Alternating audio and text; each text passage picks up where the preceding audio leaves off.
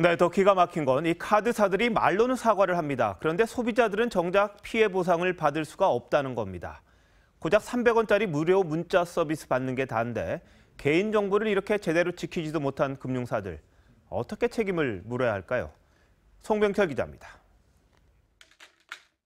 무려 1억 400만 건. 단군 일의 최대 규모 개인정보 유출. 1,500만에서 1,700만 명. 국민 3명 중 1명의 개인정보가 유출된 겁니다. 카드사 사장들은 재빨리 고개를 숙입니다. 하지만 홈페이지에 사과문을 게시하는 데는 이로부터 열흘이나 걸렸습니다. 국민, 농협, 롯데카드 3사 모두 사과문을 통해 피해를 보상하겠다고 밝혔습니다.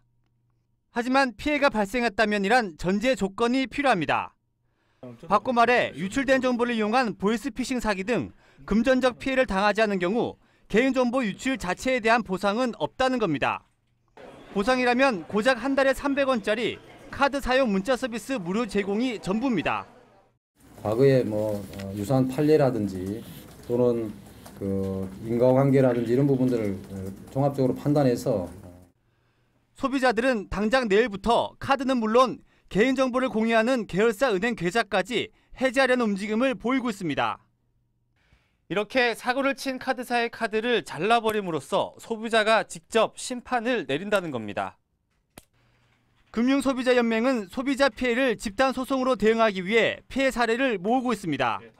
어, 더군다나 아직까지 그 많이 논의를 하고 있었다면 도입되지 어, 않는 그 징벌적 손해배상 제도도 도입을 할 필요성이 있습니다.